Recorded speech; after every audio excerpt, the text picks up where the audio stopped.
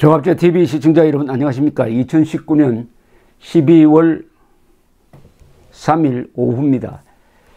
자유한국당 지도부가 지금 청와대 앞 천막 농성장에서 황교안 대표 주재로 최고위원회의 최고위원회의를 가지고 나경원 원내대표가 오는 10일 임기가 끝나는데 임기를 연장하지 않기로 하고 새 원내대표를 선출하기로 했다고 합니다. 어, 임기가 1년인데 어, 지금 이렇게 되어 있답니다. 국회의원의 자녀 임기가 6개월 이내일 때는 의원총회에서 재신임이 되면은 의원 임기 종료까지 임기를 연장할 수 있다고 되어 있는데 나 원내대표는 의원총회로부터 재신임을 받으려고 했는데 브레이크가 걸린 듯 합니다. 이것은 아마 황교안 대표의 뜻이, 뜻이 반영된 것으로 보입니다. 그래서 곧 원내대표 선거를 해야 되는데 3선의 강석호 의원, 4선 유기준 의원, 3선 김용태 의원 등의 출마 가능성이 거론되고 있습니다. 어, 황교안 대표 그리고 나경원 원내대표 두 사람이 지난 1년 동안 어, 말하자면 자유한국당의 얼굴이었습니다. 그리고 어떻게 보면 자유한국당의 원내대표 중에서 지금까지 가장 언론에 노출이 많이 되었고 가장 많은 거리 시위, 대중 시위를 했고 대중 연설을 했고 어쨌든 국민들 머릿속에 가장 깊게 인상을 남긴 원내대표라고 할 수가 있습니다. 이분의 공과에 대해서는 뭐 여러 평가가 있겠지만 저는 아주 후한 점수를 주고 싶습니다. 그리고 우선 정치는 말로 하는 것인데 나경원 원내대표는 말에 관한 한 한국 정치판에서 가장 토론 잘하고 연설 잘하고 그리고 문법에 맞고 발음 정확하고 그리고 명언을 남기고 한 점에서 아주 단연 돋보였다고 생각합니다. 이 나경원 원내대표의 사소한 문제 가지고 자꾸 공격을 많이 했는데 사실은 그것은 좌파 진영에서 봤을 때 나경원 원내대표가 아주 버거운 존재라는 것을 반증하는 것인데 안타깝게도 사소한 것까지 공격을 좌파 진영이 하면은 이 우파 진영 속에서도 거기에 맞춰 가지고 나경원 원내대표를 공격하기도 했습니다. 참 안타까웠습니다. 예컨대 저 조국 사태 때 공이 있는 사람에게 표창장을 주었다 하는 것은 그건 그냥 가십 수준입니다. 그것은 1단 기사밖에 안 됩니다. 그게 너무 서둘러 했다. 라고 뭐 보일 면도 있죠. 그러나 그걸 가지고 나경원 원내대표의 리더십을 흔드는 그런 이야기를 하는 걸 봤을 때, 아, 이 보수 세력이 좌파에게 휘둘리는 이유가 있구나 하는 생각을 했습니다. 이 보수 세력이 지도자를 지켜주고 감사할 줄을 모르고 너무 사소한 것 가지고 본질적인 문제는 빼고 나경원 원내대표는 더구나 영어를 잘하는 분이니까 외국, 미국과 채널을 가지고 특히 대북 정책에 대해서 미국 조야에 의사를 전달할 수 있는 몇 안 되는 사람 중에 한 분이기도 했습니다. 그런 점에서 지금 선거법 개정안 그리고 무엇보다도 공수처 설치법 이 둘 다 위헌적인 요소가 많고 공수처는 공수처는 완전히 헌법에 헌법적 근거가 없는 것인데 이걸 저지해야 하는 이 시점에서 또 필리버스터를 지금 준비하고 있는 이 시점에서 원내 사령탑이 바뀌었을 때 어떻게 메울 것이냐 하는 것도 조금 걱정이 됩니다. 원래 전쟁 중인 장수는 바꾸지 않는다. 는 이야기가 있습니다.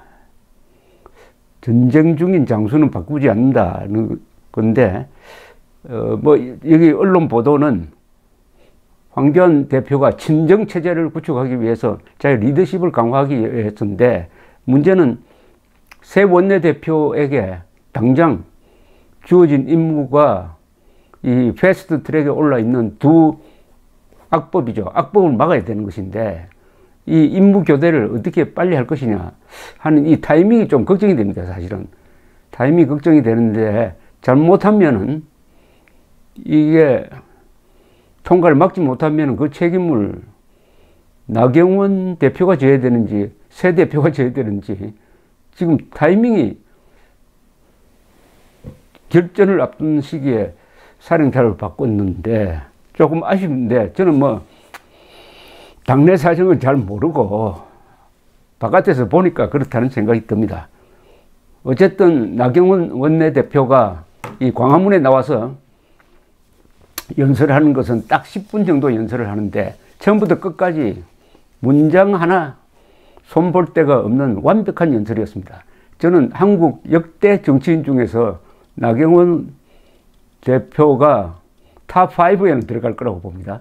그 내용이라든지 발음이라든지 태도라든지 그래서 저는 나경원 원내 대표가 앞으로 지금보다도 더 큰 정치인으로 성장하기를 어, 바랍니다. 특히 지난 3월이죠. 국회에서 원내대표 연설을 했을 때 저 더불어민주당 사람들이 막 방해를 하고 해서 유명해진 그 연설. 연설은 오랫동안 우리 국민들의 입에 오르내리는 연설이었습니다. 연설이 그렇게 화제가 된 적도 없었는데 지금 다시 그 연설문을 꺼내가지고 읽어봐도 아직도 살아있는 표현입니다. 이런 연설을 할 수 있는 사람이 정치를 해야 되는 것입니다. 그 연설 대목 몇 개를 소개를 해 드리면서 나경원 의원에게 그동안 고생했다는 말도 하고 싶고 앞으로 더 큰 정치인이 되어 가지고 한국의 방공 자유 민주 법치 체제를 지켜달라는 부탁을 하고 싶습니다.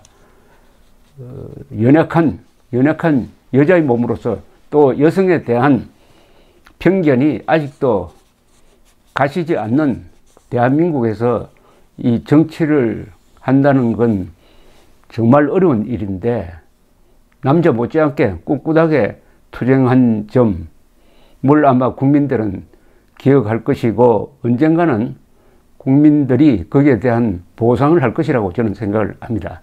지난 3월 국회 연설에서 이렇게 시작됐죠. 국민 여러분, 지난 70여 년의 위대한 대한민국의 역사가 좌파 정권 3년 만에 무너져 가고 있습니다. 그 결과 한강의 기적의 역사가 기적처럼 몰락하고 있습니다. 지난 20세기 실패한 사회주의 정책이 오늘날 대한민국에서 부활하고 있습니다. 베네수엘라 현실을 두 눈으로 보고도 그 길을 쫓아가고 있습니다. 세금은 국민 호주머니에서 나오는 국민의 땀과 노력의 결정체입니다. 누구든 대통령이 되기만 하면 마음대로 쓰라고 주는 삼짓돈도 아니요. 선심 써듯 나눠주라고 주는 쿠폰도 아닙니다. 과도한 세금 쥐어 짜기도 시간이 지날수록 더해갑니다. 문재인 정권들은 매년 세금을 25조 안팎씩 더 긋고 있습니다. 분노하셔야 합니다. 국민들께서 이 세금 퍼주기 중독을 멈춰 세워 주십시오. 저는 이 문장이 가장 가슴에 닿습니다. 세금 문제를 건드린 것. 제발 우리 헌법대로 헌법에 적힌 대로만 하십시오. 문재인 정권의 경제정책은 위헌입니다. 대한민국 헌정 질서를 정면으로 무시하는 헌정농단 경제 정책입니다. 핵심 훈련이 없는 동맹이 존속 가능합니까? 저는 사실상 한미 양국이 별거 수순으로 가고 있는 것이 아닌지 참으로 걱정스럽습니다.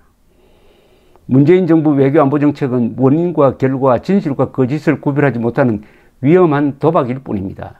이제 그 위험한 도박을 멈추십시오. 북한에 대한 밑도 끝도 없는 옹호와 대변 이제는 부끄럽습니다. 더 이상 대한민국 대통령이 김정은 수석 대변인이라는 낯뜨거운 이야기를 듣지 않도록 해 주십시오. 여기서 이제 여당이 발칵해서 소란이 일었습니다. 김정은 수석 대변인이라는 블룸버그 통신의 말을 국회에서 공식화하는 순간이 있습니다. 정치인이 이런 말을 하면 그 다음에 이게 유행하게 됩니다. 정치인의 말은 국민들 사이에 하나의 메시지를 확산시키고 용기를 증폭시키는 역할을 합니다. 나경원 원내대표가 그런 역할을 했습니다. 미세먼지 중국의 영향이 절대적입니다. 하지만 북한이 중국에 많은 걸 의존하고 있으니 이 정부는 중국에 당당하지 못한 것입니다. 이것도 아주 절묘한 관점입니다.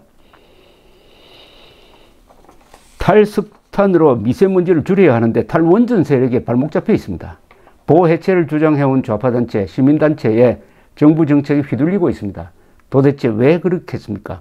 바로 문재인 정부가 강성 귀족 노조, 좌파단체 등 정권 창출 공신 세력이 내미는 촛불 청구서에 휘둘리는 심부름 센터로 전락했기 때문입니다. 정권에 반하는 판결을 내린 법관을 탄핵시키겠다는 정당이 정상적인 민주정당입니까? 검찰을 앞세워 법관을 기소하는 정권이 진정 자유민주주의 정권입니까?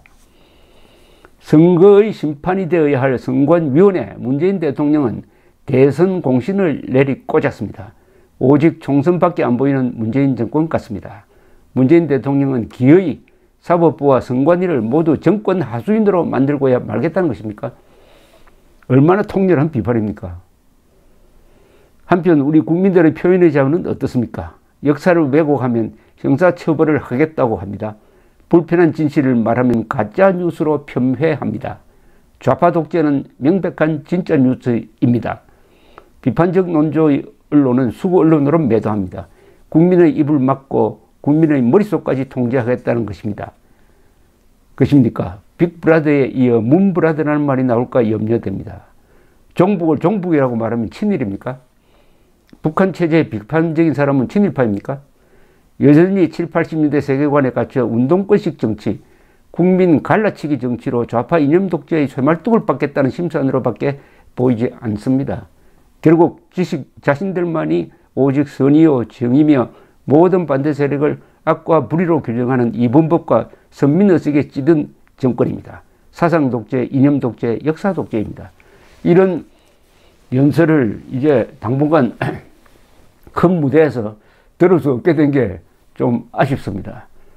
나경원 원내대표 고생하셨고 대승하시기 바랍니다. 감사합니다.